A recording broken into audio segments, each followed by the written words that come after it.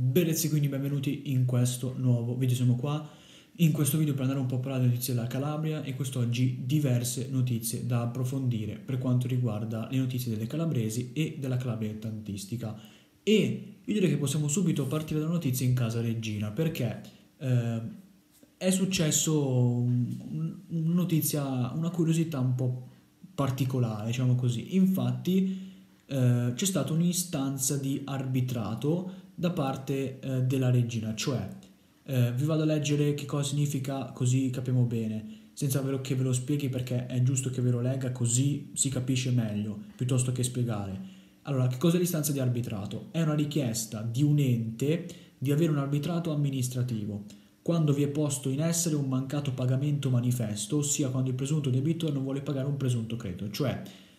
Gallo ha un debito da pagare che non vuole pagare quindi che cosa fa? Eh, chiede l'arbitrato, cioè un arbitro che eh, è un magistrato, solitamente oppure anche un notaio, che decide se questo debito vada pagato o meno. Quindi Gallo chiama, eh, chiede questo arbitrato, ok, ha un debito che ne so con me, Gallo ha un debito con, con il sottoscritto, chiama, eh, chiede l'arbitrato, cioè eh, chiama un magistrato e il magistrato dovrà decidere, che è una, una terza parte, che dovrà decidere se eh, il debito che Gallo ha nei miei confronti dovrà essere risolto oppure no. Semplicemente questo è il discorso. Quindi eh, si è parlato di mh, tutto in questi ultimi giorni a Reggio Calabria, di un Gallo comunque ehm, che ha debiti su debiti, eh, si è parlato di punti di penalizzazione, eh, ma in realtà comunque è qualcosa che eh, non, dico che lascia il tempo che trova, però non è che ha dei grandi di, gran, di grandi conseguenze, anche perché questo aspetto è anche,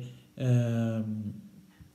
anche già successo con il procuratore di Sarao e di Rossi, eh, in cui tra l'altro Legina fu condannata a pagare, quindi è già qualcosa che è successo e che quasi nessuno se n'è accorto, quindi per farvi capire quanto effettivamente poi non è che abbia grandi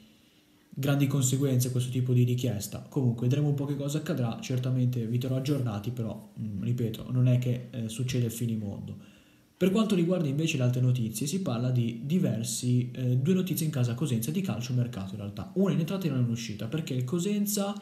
sarebbe interessato a Varela, eh, stiamo parlando di un esterno, di un'ala offensiva, del eh, Gladiator, squadra del, che milita nel girone H di Serie D se non mi ricordo male, comunque milita in Serie D, ha fatto un ottimo inizio di campionato, ha l'offensiva comunque molto interessante e Cosenza che aveva pronto un triennale di contratto per portarlo eh, in Calabria. Ovviamente Cosenza che eh, opererà sul mercato, eh, vedremo quale sarà il diktat che eh, sceglierà la società assieme a Goretti e al mister perché se vi ricordate Goretti ha fatto una eh, conferenza in cui ha detto che bisognerà scegliere se fare un mercato in cui andare a prendere calciatori pronti subito ma che poi magari possono non essere confermati in vista della prossima stagione oppure andare a prendere calciatori che eh, saranno più importanti per il Cosenza in prospettiva quindi eh, evidentemente giovani Vediamo un po', comunque Varela potrebbe essere un rinforzo molto interessante, calciatore giovane che sta facendo bene, rampa di lancio, perché eh, comunque non puntarci se eh, il direttore sportivo lo ritiene giusto. Per quanto riguarda la notizia in uscita si parla di Minelli, difensore classe 1999 che potrebbe eh, essere in uscita. In realtà sarebbe un'uscita non diciamo direttamente dal Cosenza ma indirettamente perché Minelli è in prestito alla Juve Under 23 quindi con il benestare della Juve Under 23 potrebbe andare eh, negli ultimi sei mesi di contratto con il Cosenza in prestito. Si parla del Potenza interessato in Serie C Potenza comunque di Mister Trocini che sta lottando per la salvezza Minelli che a Cosenza sta trovando poco spazio eh, negli ultimi tempi ha trovato più spazio Venturi che fino a questo momento non aveva praticamente mai giocato Minelli invece è relegato in panchina, quindi eh, per non perdere tempo potrebbe anche chiedere la cessione e andare a fare esperienze in C. Vedremo un po' comunque. Notizia eh, sicuramente importante. Ma detto questo, proseguiamo con la Calabria dilettantistica e nello specifico in Serie D, perché ci sono due notizie in casa Cavese. La prima è legata allo stadio. Infatti, ehm, per eh, quanto riguarda lo stadio, è stata aumentata la capienza della curva sud. Eh, la curva sud quindi adesso avrà una capienza eh, di 950 posti e eh, ovviamente con le regole del, del virus, le regole dettate dalla, dal governo, il massimo della capienza è il 75%, quindi eh, sarà il 75% di 950, ma certamente importante perché i lavori sono terminati, quindi è stata aumentata la capienza della curva sud e eh, quindi la Cavese avrà a disposizione più posti a sedere per eh, i tifosi, eh, in vista poi anche delle prossime giornate so, e dei prossimi anni, non solamente per ovviamente l'oggi. Ma l'altra notizia riguarda eh, la panchina, perché ci eravamo lasciati negli scorsi video con l'esonero di Ferrazzoli e arriva il nuovo mister. Infatti firma mister Troise, rinforzo per la panchina di altissimo livello fino all'anno scorso allenato in C al Mantova, con un Mantova che comunque ha fatto una stagione discreta, ehm, allenatore di alto livello che è ancora relativamente giovane perché eh, comunque negli ultimi anni ha fatto diverse esperienze importanti, eh, tra l'altro vincendo anche il, eh, la Primavera 2 e la Supercoppa Primavera con il Pescara e comunque ha fatto esperienze importanti anche a livello giovanile. L'anno scorso con il Mantova ha fatto discretamente, è un allenatore ancora relativamente giovane ma che ha eh, delle, ottime, delle ottime idee tecnico-tattiche, soprattutto tattiche perché poi tecnico dipende dalla squadra, però certamente per la Caveso è un rinforzo eh, importantissimo, ha già comunque esordito sulla panchina vincendo con il Real Aversa per 1-0, gol di Diaz all'ottantesimo tra l'altro, e per il resto è un, uh, un'ufficialità molto importante, secondo me non tanto corretta più che altro perché Ferrazzoli è stato esonerato un pochino troppo presto, nel senso che comunque è vero che sono tanti punti di distacco dalla Gelbison, però è più che altro la, Gel- la Gelbison che sta facendo un campionato a parte, più che, più che il resto. Quindi eh, comunque alla fine Ferrazzoli ha pagato, arriva Troise che è un allenatore di altissimo livello, ripeto, ha fatto categorie, super- categorie superiori fino all'anno scorso, può fare certamente bene, vedremo un po' se queste premesse verranno confermate. Notizie però anche in casa Giarre, un Giarre che sta deludendo le aspettative, si pensava un campionato molto più tranquillo, invece è relegato nelle ultime posizioni di classifica e ci sono ripercussioni sulla panchina, perché viene esonerato eh, Infantino, purtroppo perché Infantino comunque eh, a me è un allenatore che è sempre comunque piaciuto, soprattutto negli ultimi anni a Cittanova, eh, ha avuto vabbè, un rapporto con Cittanova un po' di amore e odio, nel senso che prima è arrivato, poi è stato mandato via, poi è ritornato, l'anno scorso soprattutto io mi aspettavo anch'io qualcosina di più da questa avventura eh, in quel di Jarre, purtroppo per lui non è, non è successo e quindi arriva questo esonero eh, considerando comunque gli ultimi risultati eh, molto, molto negativi. Ecco, eh, per quanto riguarda il sostituto è un ritorno, perché ritorna eh, sulla panchina del Jarre mister Cacciola, che era l'allenatore comunque che ha, allenato, che ha iniziato la stagione, perché Jarre ha iniziato il percorso in Serie D quest'anno con Cacciola, l'ha mandato via, ha preso Infantino che ha allenato il Reggiarre per un mese e mezzo circa, due mesi, e adesso comunque esonerato Infantino ritorna a Cacciola sulla panchina, un po' come Pidatella Biancavilla, è un ritorno eh, un po' di quel tipo lì, avrà certamente un bel da fare perché eh, il Giarre ha pareggiato tra l'altro Trolina in uno scontro salvezza, però comunque dovrà macinare tanto per ottenere la salvezza, quest'anno sarà veramente veramente complicata, però comunque eh, sicuramente anche eh, anche Cacciola saprà cosa fare, l'ambiente lo conosce e potrà ritornare eh, cercando di migliorare comunque quello che non ha fatto comunque bene eh, a inizio anno. Questo è un po' il, il punto. Cambio in panchina però anche in casa Trapani, rimanendo in Sicilia, Trapani che eh, esonera eh, Criaco, anche se non è che sia un esonero di, di spicco, perché comunque Criaco era allenatore in seconda di Moschella, ha allenato il Trapani per qualche eh, per qualche giornata, tra l'altro anche per la partita di Coppa Italia con l'FC Messina che ha vinto poi, quindi qualche risultato positivo lo ha portato a casa Criaco. Nonostante questo, eh, quindi eh, c'è la decisione contrattuale e di conseguenza quindi non, non, sarà più allenatore. Alla fine decisione che ci può stare perché il Trapani, eh, considerando anche gli obiettivi, ha voluto puntare su un allenatore comunque importante e eh, proprio non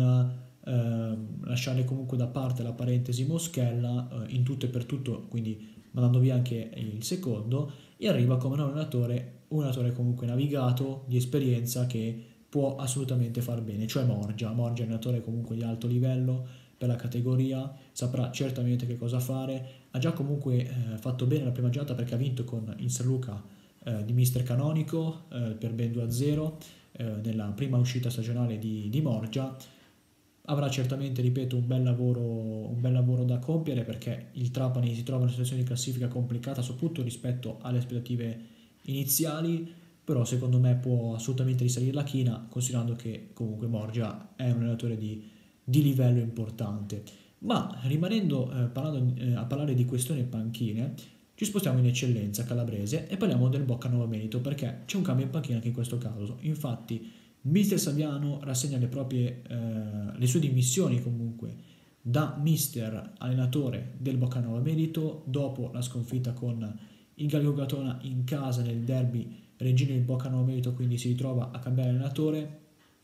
È un po' un addio eh, brutto, diciamo, perché con Saviano comunque si era intrapreso un percorso inizio anno importante, le aspettative erano abbastanza alte, eh, aspettative comunque deluse eh, dalla, non tanto dalla squadra quanto più dai risultati, perché poi a livello in termini di risultati il Boccano Merito sta facendo molto male, occupa l'ultima piazza eh, in classifica nel campionato di eccellenza calabrese e quindi certamente qualcosa andava cambiato, eh, però comunque anche interessante il, il, fatto che non sia un esonero questo, ma più una, eh, anzi una vera e propria dimissione, quindi è l'allenatore che evidentemente eh,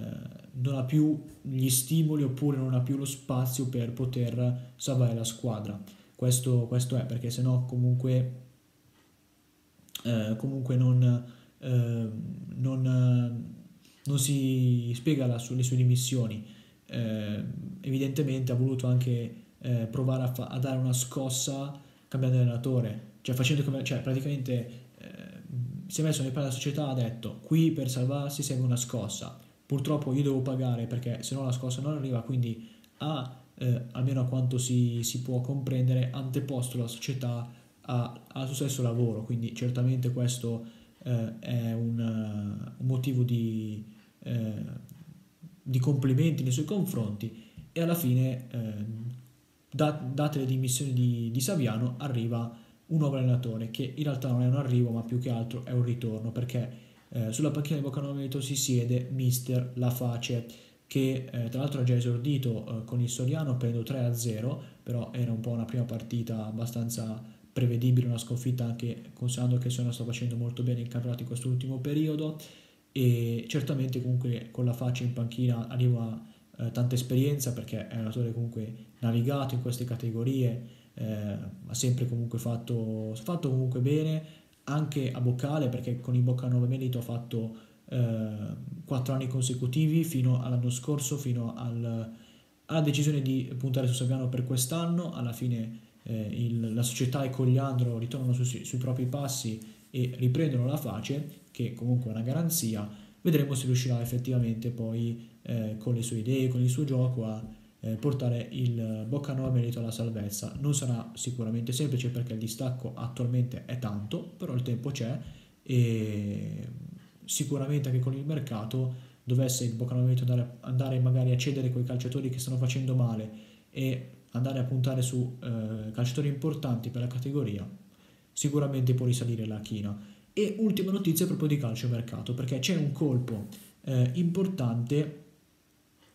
eh, in casa Reggio Mediterranea che eh, continua comunque eh, in campionato ovviamente a giocare e tra l'altro Reggio Med coinvolta anche eh, in Coppa, in, Coppa, Italia e fa un colpo di calciomercato importante più che altro a livello proprio numerico perché mh, alla Reggio Med mh, servono calciatori per poter affrontare due competizioni. Già comunque eh, la Reggio Mediterranea eh, così come Locri, così come l'Acri, così come il Solano sta giocando praticamente ogni tre giorni per via delle partite di Coppa Italia. E non ha comunque a livello numerico una rosa adeguata per poter affrontare questo tipo di percorso e quindi ha dovuto eh, e sta cercando di rafforzarsi sul mercato proprio per eh, limare questo problema qui e comunque ufficializza un, uh, un, colpo molto importante perché arriva per il reparto difensivo Barbuscia, difensore classe 1990, giocatore di eh, assoluta esperienza che eh, ha giocato principalmente in Argentina, in Serie D ed eccellenza argentina. Eh, in Italia in realtà non ha avuto, non ha avuto esperienze, quindi è la, prima, è la, sua prima esperienza in Italia, eh, in eccellenza calabrese,